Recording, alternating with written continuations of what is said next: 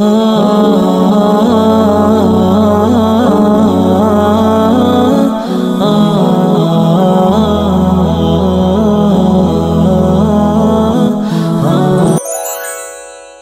ने इब्ने बुरैदा से, उन्होंने याहिया बिन यामुर से रिवायत की। उन्होंने कहा कि सबसे पहला शख्स, जिसने बसरा में तकदीर से इनकार की बात की माबद जोहनी था। मैं, यानी याहिया, और हमीद बिन अब्दुलरहमान हिमयरी हज या उम्रे के इरादे से निकले। हमने आपस में कहा, काश रसूलुल्लाह सल्लल्लाहु अलैहि वसल्लम के सहाबा में से किसी के साथ हमारी मुलाकात हो जाए तो हम उनसे तकदीर के बारे में इन आजकल के लोगों की कही हुई बातों के मुतालिक दरियाफ्त कर लें। तोफीक इलाही से हमें हज़रत अब्दुल्ला बिन उमर बिन खत्ताब रज़ी अल्लाह मस्जिद में दाखिल होते हुए मिल गए। मैं और मेरे साथी ने उनको दरमियान में ले लिया। एक उनकी दाएँ तरफ़ था और दूसरा उनकी बाएँ तरफ़। मुझे अंदाज़ा था कि मेरा साथी गुफ्तगु का मामला मेरे स्पुर्द करेगा। चुनाचे मैंने अर्ज़ की अय अबू अब्दुलरहमान यह अब्दुल्ला बिन उमर रज़ी अल्लाह की कुन्नियत है। वाकई यह है कि हमारी तरफ़ कुछ ऐसे लोग ज़ाहिर हुए, जो कुरान मजीद पढ़ते हैं और इल्म हासिल करते हैं और उनके हालात बयान किए। उन लोगों का ख्याल है कि तकदीर कुछ नहीं, यानी हर काम नए सिरे से हो रहा है। यानी पहले से इस बारे में ना कुछ तय है, ना अल्लाह को इसका इल्म है। इब्ने उमर रज़ी अल्लाह ने फरमाया, जब तुम्हारी उन लोगों से मुलाकात हो तो उन्हें बता देना कि मैं उनसे बरी हूँ और वो मुझसे बरी हैं। उस जात की कसम, जिसके नाम के साथ अब्दुल्ला बिन उमर हल्फ उठाता है, अगर उनमें से किसी के पास उहद पहाड़ के बराबर सोना हो और वो उसे खर्च भी कर दे तो अल्लाह ताला उसकी तरफ़ से उसको कबूल नहीं फरमाएगा। यहाँ तक कि वो तकदीर पर ईमान ले आए। फिर कहा, मुझे मेरे वालिद उमर इबन खत्ताब रज़ी अल्लाह ने बताया, एक दिन हम रसूलुल्लाह सल्लल्लाहु अलैहि वसल्लम की खिदमत में हाजिर थे कि अचानक एक शख्स हमारे सामने नमूदार हुआ। उसके कपड़े इंतहाई सफ़ेद और बाल इंतहाई ज़्यादा थे उस पर सफ़र का कोई असर दिखाई देता था, न हम में से कोई उसे पहचानता था।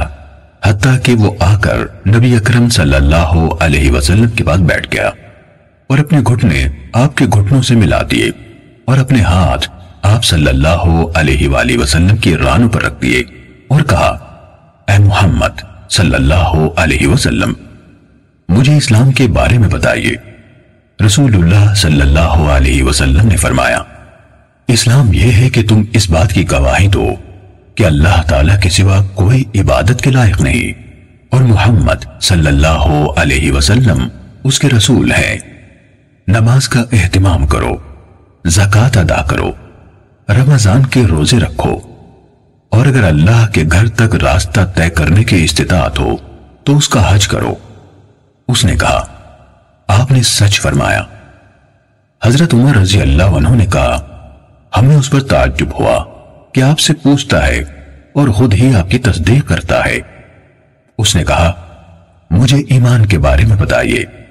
आपने फरमाया, ये कि तुम अल्लाह ताला, उसके फरिश्तों, उसकी किताबों, उसके रसूलों और आखिरी दिन, यानी योम कयामत पर ईमान रखो और अच्छी और बुरी तकदीर पर भी ईमान लाओ। उसने कहा, आपने दुरुस्त फरमाया।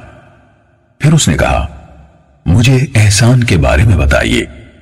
आपने फरमाया, यह कि तुम अल्लाह ताला की इबादत इस तरह करो, गोया तुम उसे देख रहे हो, और अगर तुम उसे नहीं देख रहे तो वो तुम्हें देख रहा है।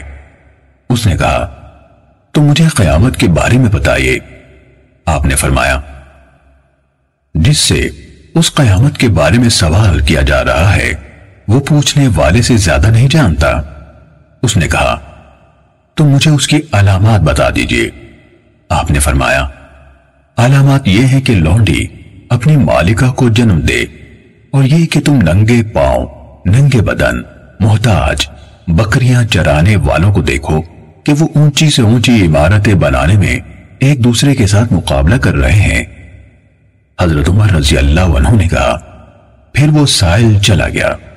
मैं कुछ देर उसी आलम में रहा। फिर आप सल्लल्लाहु अलैहि वाली वसल्लम ने मुझसे कहा अः उमर, तुम्हें मालूम है कि पूछने वाला कौन था? मैंने अर्ज़ की, अल्लाह, और उसका रसूल ज़्यादा आगा है। आप सल्लल्लाहु अलैहि वाली वसल्लम ने फरमाया, वो जिब्राइल थे, तुम्हारे पास आए थे, तुम्हें तुम्हारा दीन सिखा रहे थे। सही मुस्लिम, हदीस नंबर तिरानवे।